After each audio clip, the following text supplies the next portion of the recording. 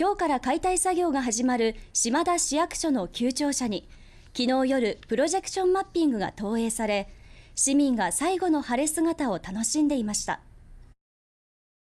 3、2、1、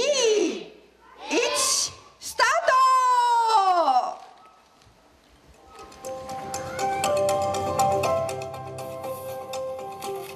ト。旧庁舎には午後6時から2時間にわたって大井川やお茶 SL など島田をイメージしたもの。そして小学生が描いた絵が投影され60年の歴史に幕を下ろしました。旧庁舎は今日から解体作業が始まり来年度中に市役所の駐車場や広場へと生まれ変わります。